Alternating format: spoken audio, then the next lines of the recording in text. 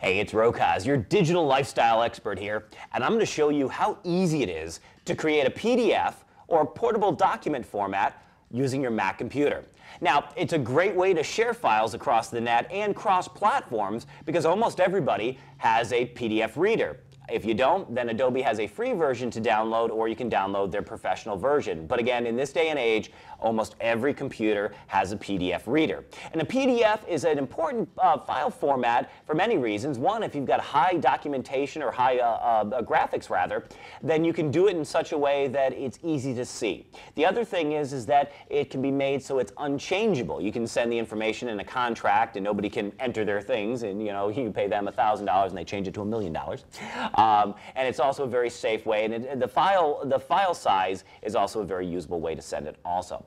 Let me show you how to do it. It's very easy.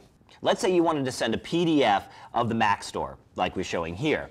Uh, simply all you have to do is go to File, Print, or Command or Apple P. Once you do that, you'll see your print queue come up.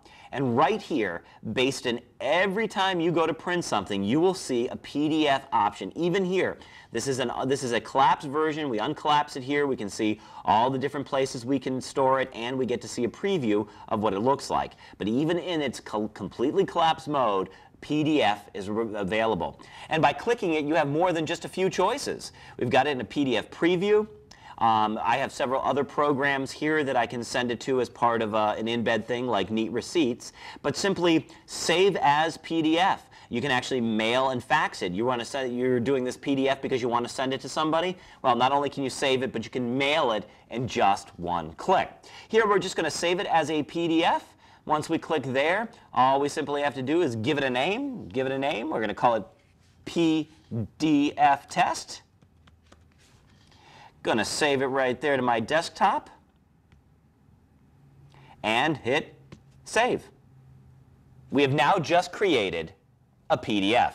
Now if we go to our desktop, we can see that there it is, the PDF test. All I have to do is hit spacebar and there it is. It's beautiful, it's got the graphics, it's ready to go.